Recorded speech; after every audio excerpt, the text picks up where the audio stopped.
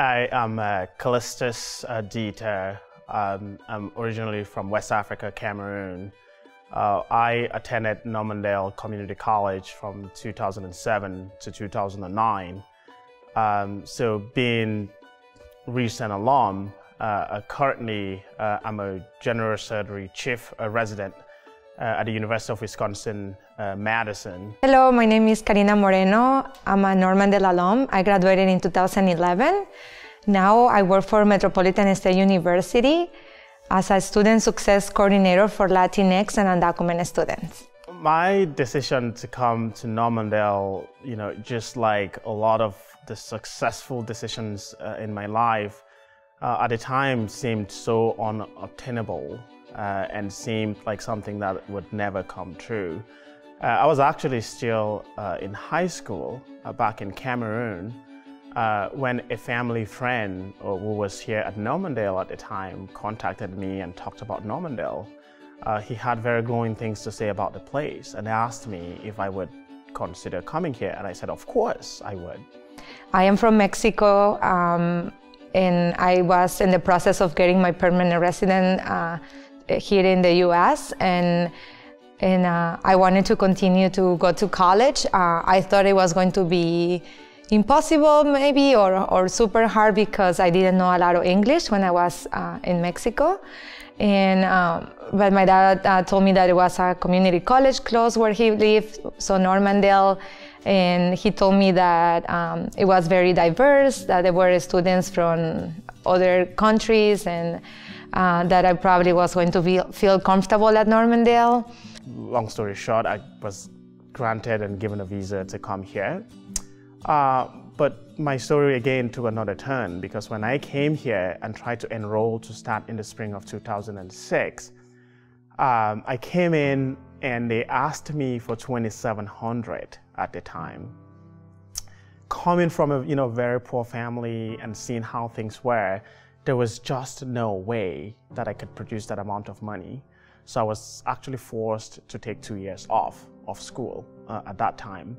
Uh, so I went around and I actually maintained three jobs around in the community. I worked at Walmart, I worked at Old Navy, I worked at McDonald's, and raised a bunch of money in two years, and then came back.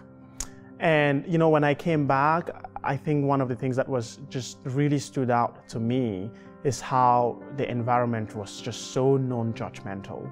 Everyone was so accepting, they were willing to help me, and everyone invested in my success on campus.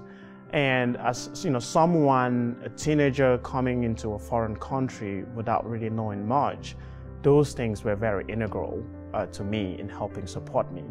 It was one of the best decisions of my life um, to be a, to be at Normandale. I grew up a lot as a person, and um, I had a lot of people around me, uh, staff at Normandale, uh, faculty members, and students that uh, that I was uh, very very comfortable with, and uh, people that that care about me and help me to continue my, my journey. And I will tell you, leaving from here, heading to the University of Minnesota, heading to Oxford, going to medical school at Michigan and ending up in residency now, I haven't found a better place where I could really say, I, you know, I got taught better, you know, or the classes were better, or the classmates were better. It was here where my foundation was set, and it really set me up for success. Uh, my uh, the degree that I chose to, to do at Normandy was business. I thought that I wanted to work for an airline and I had other uh, things in my mind that I thought that that's what I wanted to do.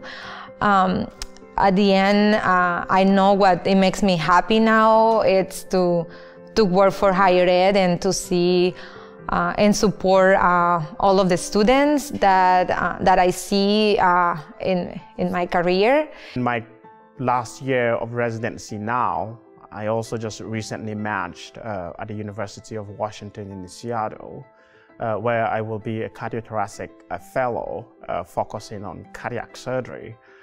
so in two years, hopefully this journey that started here at Normandale uh, will really come to an end where I can then start you know, fully practicing as a heart surgeon, uh, which is what I truly love to do, and I'm blessed and humbled uh, to have had the opportunity to be able to do that. Uh, first of all, congratulations to all of the students that have achieved uh, their associate's degree at Normandale. Uh, like I mentioned before, uh, having an associate's degree will open a lot of doors uh, for you.